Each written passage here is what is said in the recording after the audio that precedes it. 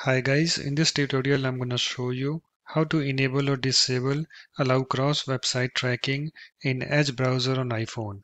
So this is my iPhone device, so let's start. So first of all you have to open your settings app.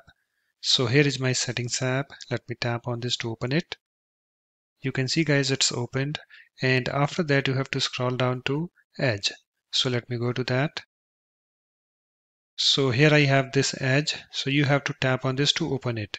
So let me tap on this. And I have this edge, uh, this screen opened. And on this screen, you have to come to this option, allow cross website tracking.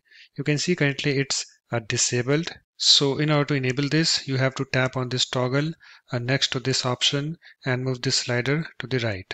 So let me tap on this. You can see it's now enabled. And whenever you want to disable this, you have to tap on this toggle next to this option and move this slider to the left. So let me show you. Let me tap on this.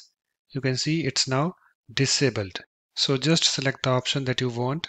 So I want to leave this as disabled. And after you're done, you can close this uh, settings app. So let me close this.